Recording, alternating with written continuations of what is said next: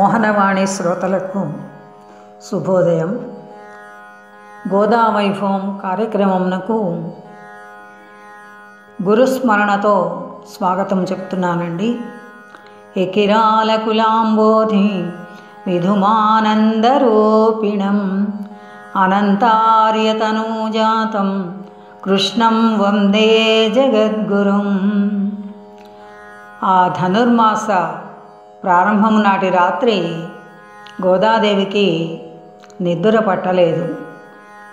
ప్రక్కపైన ఆమె జాగరణ చేస్తూ ఆ రాత్రి అంతా కృష్ణుని నామస్మరణలోనే కాలం గడిపింది. ఆ కాబట్టి ఆమె ఆనాటి పగటివేళ తన మనస్సులో కలిగిన భావములను పునశ్చరణ చేసుకుంటోంది. చూద్దామండి ఆమె ఏమనుకుంటోందో. ఆ రోజు పగలు గుడిలోని వేణుగోపాలుని దర్శించినప్పుడు ఆ మూర్తి కన్నులలో ఒక చైతన్యం తళుక్కుమంది. స్వామి విగ్రహంలో నుండి ఒక్క మారుగా కళాప్రపూర్ణుడైనటువంటి చందమామ పుట్టినట్లు చల్లని కాంతులో విరబూసినట్లు వేణుగోపాలుని చూపులు తన కన్నులలోనికి తొంగి చూచినట్లు తన హృదయంలోని మాధుర్య కళలను తన మనస్సులో చిందులు వేస్తున్నటువంటి ఒక దోబూచులాటకు ఉద్యమిస్తూ చక్కటి ఒక భావము ఆమెలో తొణికిసలాడింది. ఆమె ఇలా అనుకుంటోంది ఎవరి మాయలాడు? చిన్నప్పటి నుంచి గుడి చూస్తూనే ఉన్నాను కదా. చిత్రమేమో కానీ ఆ నవ్వులో వికారమైన భావాలేమీ లేవు. అసలు ఇతడు లోనికి ఎలా ప్రవేశించాడు? తెలియకుండా ఉంది. నా హృదయం కలవరపడుతోంది. కొత్తగా అనుభవం అవుతున్న ఈ ఆనందం కూడా చిత్రమైన బాధనే కలిగిస్తోంది.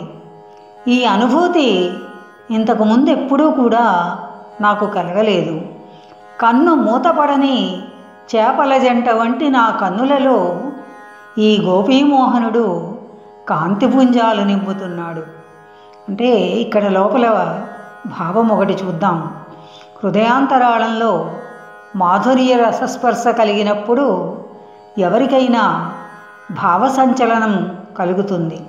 వాసనాబద్ధులైన సామాన్యులకు దాని వలన వికారభావాలు కలుగుతాయి.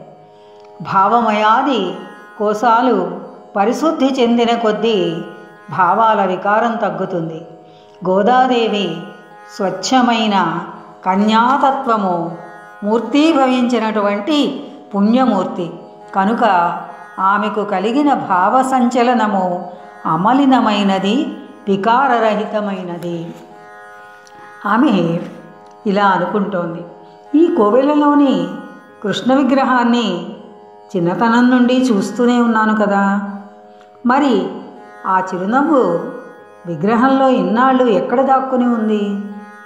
ఈనాటికి ఆ చిరునవ్వు నాకు నా కన్నులలో నా హృదయంలో విరేబూస్తూ కనిపిస్తోంది. నా మనసే ఒక పుష్పంగా ఆ నవ్వుతో మారిపోయింది. ఇటువంటి కృష్ణతత్వాన్ని ఆమె అనుభవిస్తోంది. ఆ కృష్ణతత్వంలోని రాత్రి చీకటి మనస్సును దొంగిలించడం మోహనతత్వం మొదలైన అంశాలకు కొద్దిపాటి సూచన మనం ఒక్కసారి చూద్దాం.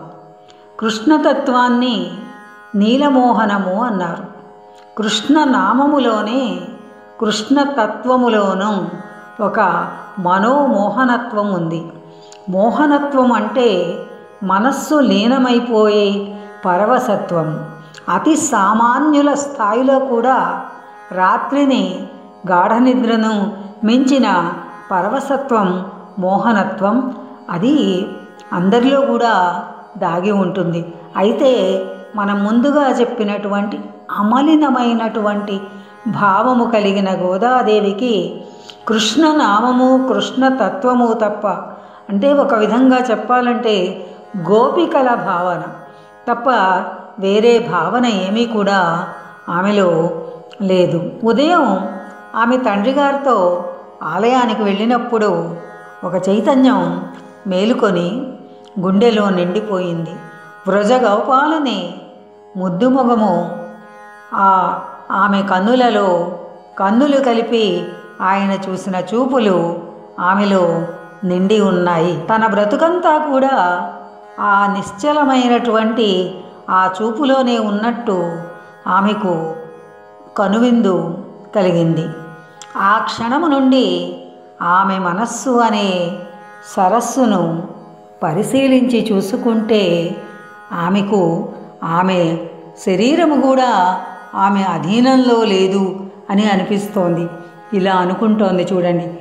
ఆ క్షణము నుండి నా మనస్సరసి చూడ నాది కాదని భావంబు నాది కాదు. పరిసరంబులు నా ఇల్లు పల్లె పట్టు నాది కాదని కనుగొంటే నవ్వుకొంటే. చూడండి ఆమె మనసులో ఎలా అనుకుంటోందో. నా మనస్సు నాది కాదు నా భావము నాది కాదు. నా ఇల్లు కానీ ఈ పల్లె కానీ నాది కాదని స్ఫురించి నవ్వు వచ్చింది. ఇది అంతా ఆ వ్రజరాజు గ్రామమే. గోపాలుని దేహం నుండి ప్రేమార్థమై వెలువడిన కాంతులలో నుండి పుట్టిన మెరుపు తీగలే నా బంధువర్గంగా రూపొందిందా అనిపిస్తోంది. నా ఇంటిలోని ధూళి రేణువులన్నీ శ్రీ భూనాథుని పాదరేణువులే అనిపిస్తున్నాయి. ఇంతకన్నా ఇంటికి సంపద ఏముంటుంది? ఎంతటి చక్కని భావన ఆమెది. చూడండి భక్తి కానీ తపస్సు కానీ తనకి తెలిసిన విలువలు పరిధులలో ప్రారంభమవుతాయి. గోదాదేవికి తండ్రి విష్ణు చిత్తున ఎడల అపారమైనటువంటి ప్రేమ గౌరవాభిమానాలు ఉన్నాయి. కాబట్టి ఆమె భక్తి కూడా మనందరికీ ఎవరికి అందనంత ఎత్తులోనే కనపడుతోంది పరిశీలిస్తే. స్వామి కోవెల ఆవరణలో ఉన్న తోటలో ఏ పిట్టలను కానీ సరస్సును కానీ ఆకాశమును కానీ ఏది చూసినా ఆమెకు కృష్ణ విగ్రహము అందాలే కనపడుతున్నాయి. అణు అణువున కృష్ణుడు తప్ప ఆమెకు వేరేమీ కూడా కనపడట్లేదు. ఒకసారి చూస్తే బాలరూపంగా అనిపిస్తున్నట్ట.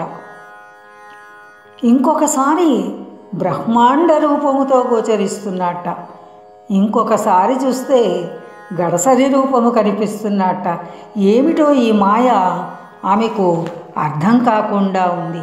అన్ని రూపాలు అతనివే అనేటువంటి స్థితికి రావడానికి కొంత సమయము పడుతుంది. ఎందుకంటే ఆమె భక్తి కూడా ఇక్కడ మనకు ఆమె ఇంకా యవ్వనవతి ఇప్పుడిప్పుడే యవ్వనములోకి అడుగుపడుతున్న అడుగుపడుతున్న స్త్రీమూర్తి.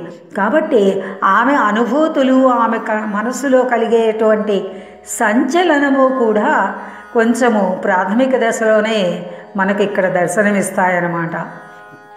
ఆ తర్వాత ఆమెకు ఎక్కడి నుండో లీలగా వేణుగానము వినిపించింది. ఆ వేణుగానము ముందు మంద్రముగా వినిపిస్తూ తన హృదయం అనేటువంటి వీణలో నాదాలుగా వినబడింది.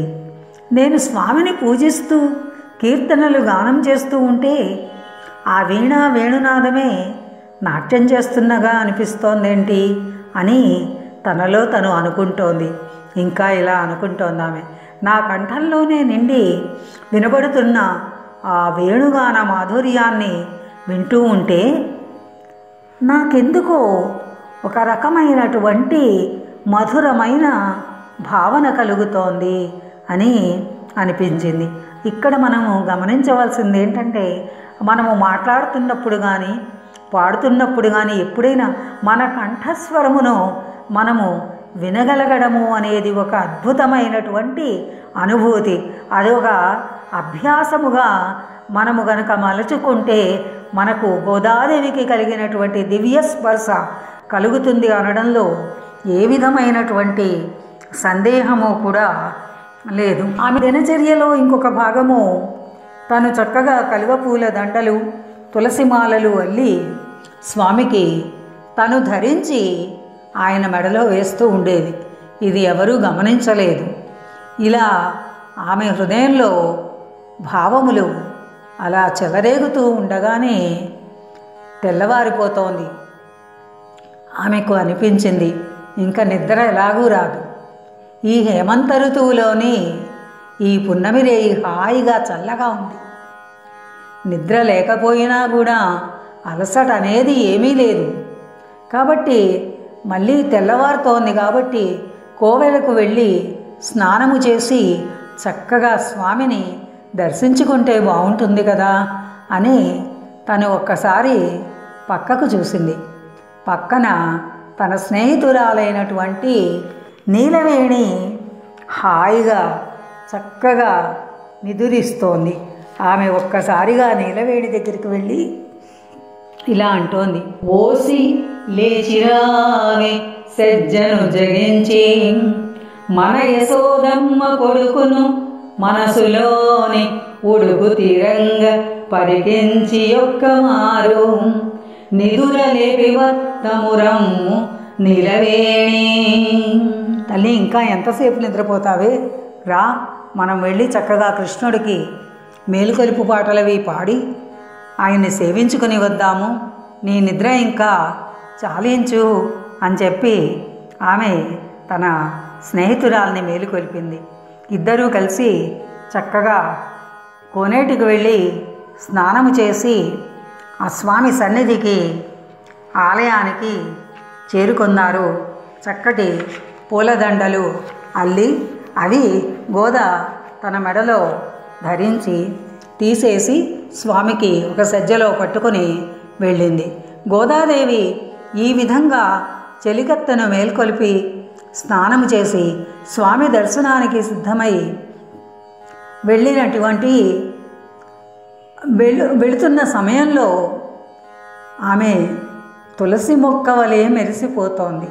తన దీక్షలోని మొదటి ఉషోదయ సమయాన మొగ్గ తొడిగిన మార్గశిర మాసం వలె ఉన్న గోదాదేవి మన కోర్కెలను పండించుగాక.